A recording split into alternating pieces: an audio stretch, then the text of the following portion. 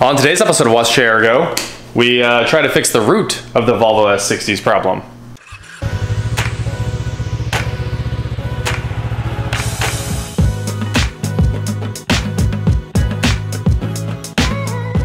What is going on guys? I'm Watch Go and today we're here with my 2001 Volvo S60 2.4T. It was $450. Last time we did, what did we do? Oh, the, yeah, the front suspension. We did that thing and uh, we thought we were gonna knock out this whole thing in one day and that just didn't happen. So today we've uh, lowered our expectations slightly and we're gonna tackle one problem and get it done. So today is the PCV, all of it. We're going through this thing hardcore. So uh, kind of the plan here is to get everything off the front of the engine because PCV on the 2.4T is buried underneath the intake. Thanks, Volvo. So uh, yeah, we're gonna just start taking off stuff. We'll start with the cross brace here, strut bar, and uh, pull off the boost machine right here. Obviously, this is just the charge pipe, but we're gonna call it the boost bazooka. The boost bazooka. the boost bazooka sounds cool, right? We'll just keep digging into this until we get well into the engine bay here and uh, pull off the fuel rail, pull off the intake, and see what we get into. So we've got a ton of parts here, all from FCP Euro. I have to give a huge shout out to them. Thank you so much for sending us all the parts for this build. Uh, without help from sponsors like FCP Euro, I uh, might not have been able to get out of this car without losing money. so uh, it's just such a nice car that it had to be saved. It's a beautiful car. The interior is in great shape, the exterior is in great shape, the tires have less than 50 miles on them. Oh yeah, they're great. They're they, they still have the little actually yes, less than 50 yeah. miles. I talked to them again, and so uh, the root of the problem here, PCV system gets all carboned up, clogs up, and there's a bunch of crankcase pressure, and it blows the cam seals out. So we're going to do the cam seals, and first we have to knock out the PCV before we do the cam seals. Also, uh, the comments were like, hey, make sure you replace the uh, oil cap gasket because it leaks. And guess what? It leaks. I got an oil cap gasket. I do read the comments. You guys do give good advice. Somebody was like, make sure you do that. Somebody was right. There's our decarbon solution. A little bit of CRC brake clean. And it looks good as new. Slide it over the tabs just like that. And you're good. Easy peasy. No more leaks. You can tell it's been leaking for years. And uh, it stopped today. Oh man, nice and solid. Oh yeah, it's super smooth when it goes on. Yeah. 14, 14, here we go. You don't need anything special to pull that guy out, just an 18. Comes apart real easy. And uh, we'll pull this guy off the top engine mount and be good. Right? All right, all right. I think. Awesome. All right, so I'm gonna go ahead and put our bolt back. I'm gonna put all the bolts back so I don't lose them. And next to come off is the boost bazooka. We do have to get the boost bazooka off and there's a wire back here. It's gotta come out of its clamp. Got the, there goes the wire. T25 to pull off the boost bazooka. And uh, of course I can't get it in there where I need to. I'm gonna have to use a ratchet. Turns out it's a seven for the worm clamp and I'll just back that guy way off. Good to go.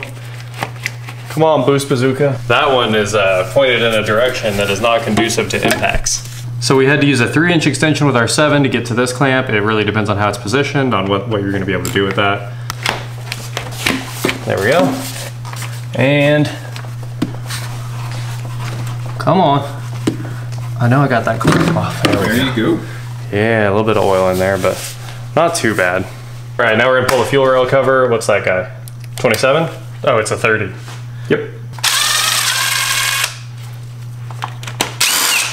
That came off quick. All right, all right, all right. The fuel injector connectors, just push in like that and then lift and maybe give them a little wiggle. Obviously you don't want to break them or anything else. So a little wiggle. Yeah, just got a couple drops out of it. Perfect. In our case, this engine hasn't ran in like three days now, four days. Yeah. So there's no pressure on the rail. That's always a bonus. Super fast right there. All right. So our bolts aside. It's starting to move a little bit. Perfect. All right, did we do it? Look at that. We got all the O-rings out at once. Two, three, four, and five. It's kind of like winning the lottery. Did you go buy lottery tickets? I did. All right. I don't think you actually did, but we're going. You're right, I didn't. Let's go. We gotta go.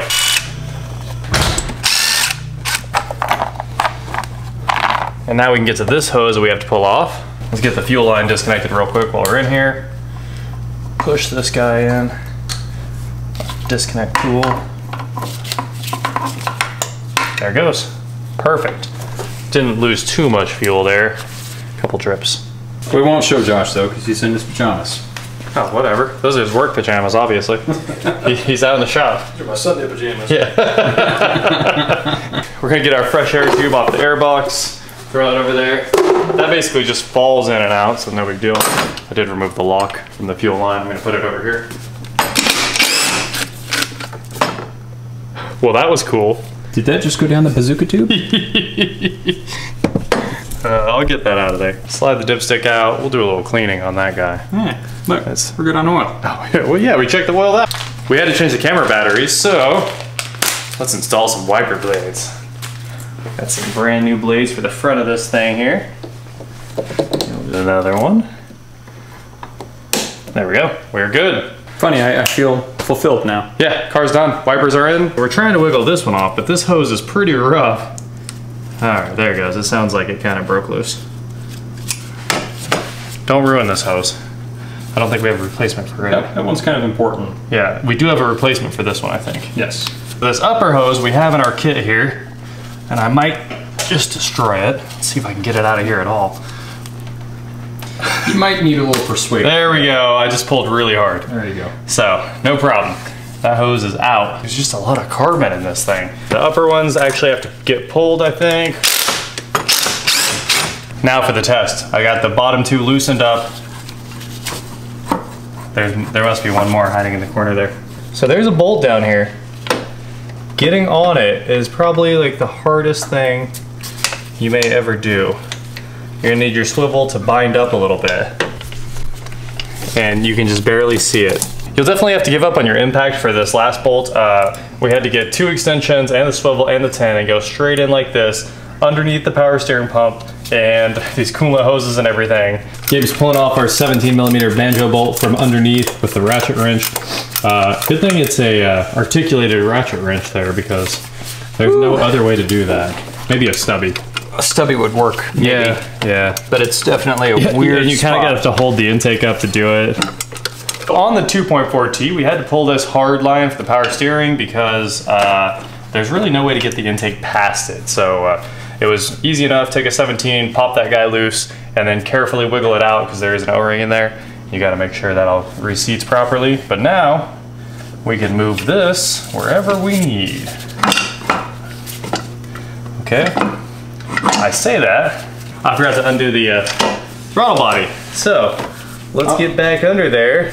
Yep, there'll be just one. Should be just one harness.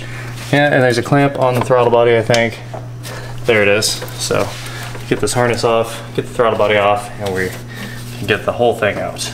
This was a nightmare. The connector for the throttle body is down there in front of the starter, but you can't get it off without taking off this like bracket by the starter because it's a big old six pin connector like that big and you have to work it out of there and there's no way to get it through. So we had to unbolt the throttle body off the bottom of the intake while the intake was still in the car basically. And uh, yeah, that took a long time. Uh, now we've got it apart, we can swap out the PCV. You can finally see the PCV canister and uh, we're gonna make sure this banjo bolt and everything is clear of carbon. Pull this guy out of here. There's copper crush washers on it, so we're going to be careful and not drop them. Okay, one's on the banjo bolt, one's on there. We're good. And we'll clean that up with some brake clean, and uh, then we'll clean out this line. There's two tins holding on the canister, so we're gonna start pulling it off. I'm really impressed with these valves.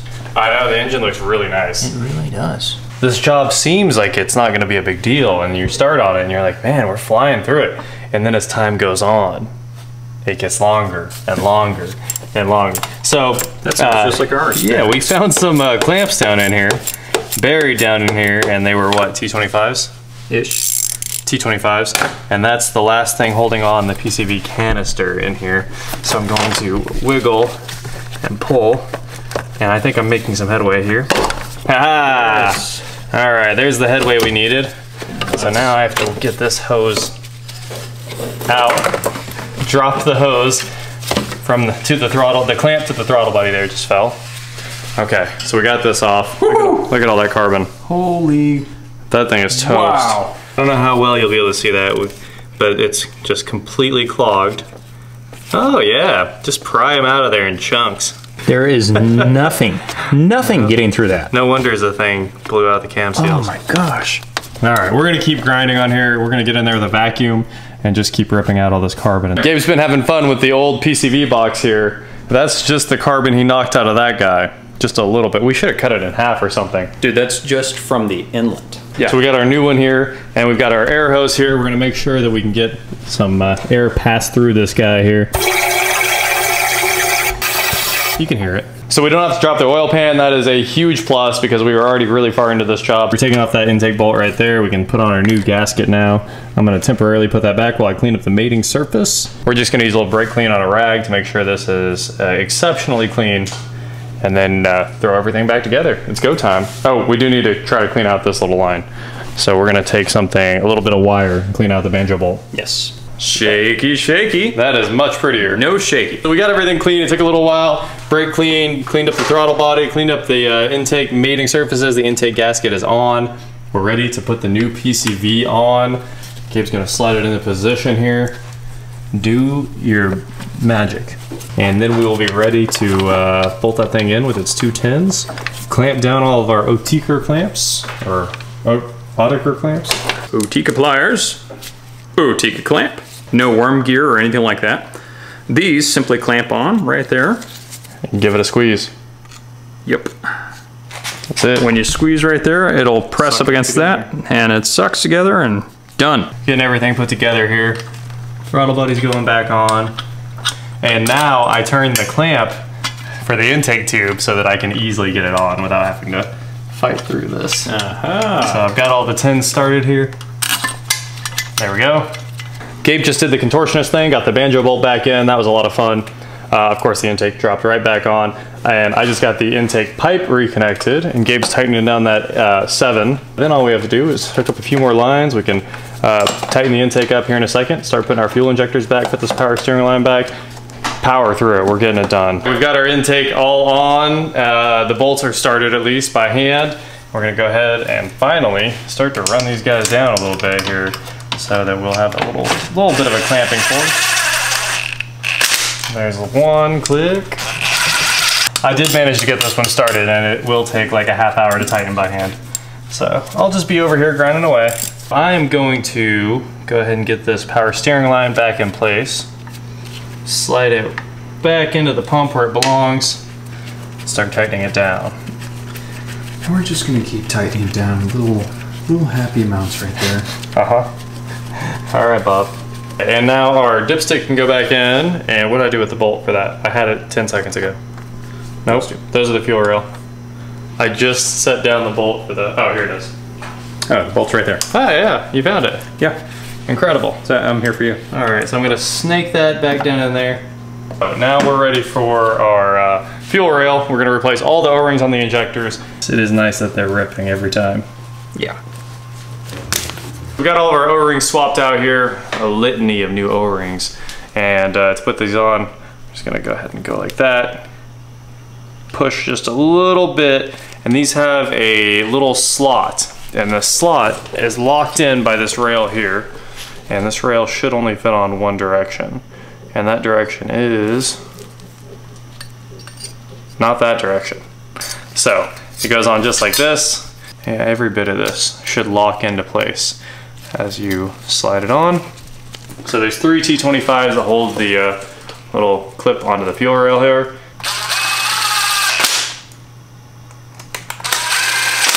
And now we can go ahead and set our fuel injectors in here carefully. Give them a big wiggle and a push. And there we go. They're going in. Awesome. Okay, we can hook up our fuel line quick disconnect. We are done for the day on this. Usually we'd keep going, button everything back up, put the covers back on, and put the boost bazooka back in place. But on this job, we are not done. We Tomorrow, we tear off the entire side of the engine. We gotta get these out of the way, gotta get the cover off the timing belt, all the covers off the timing belt. We gotta take the crank pulley off. We got a lot of work to do tomorrow. We have to take all this apart over here. So today, we're gonna stop with what we can technically stop with. So that is putting these injectors back on. And sure, it could run now. I know we could fire it up if we wanted to, but uh, we're not gonna do that. We're going to, there we go, got that one to clip in. Just get the injectors back on. Everything's back in place as well as it can be for now. Uh, and then tomorrow, we just keep taking this car apart. It took a few hours. So uh, I'm sure this will take quite a few more hours, honestly. And we have to kind of rotate it until we get this thing TDC, align all the cam gear marks and all that good stuff. But we're gonna get it done. Another fun night of work on the Volvo knocked out, and uh, hopefully only one more day, and this car can move on down the road to its next owner. So that is it for today. Thank you guys so much for watching, and please like, share, subscribe, do whatever you want to do, and I will talk to you next time. It's gonna be one really reliable car when it's done. That's the problem. It's, Yeah, it's this- built like a tank. It is built like a tank. Yeah. But Sometimes- honestly, I've, I've worked on tanks. They're they're easier to work on than this thing.